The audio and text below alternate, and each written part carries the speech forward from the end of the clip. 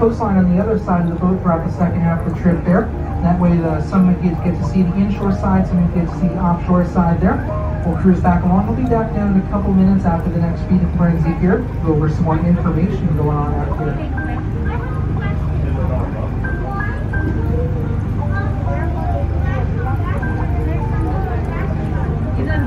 I don't know, the fish mostly want to stay close to the shore, so whatever side is closer to the shore is where the fish like to hang out there. Sometimes it's a part of their survival. So you see, sometimes more of them are around this side now.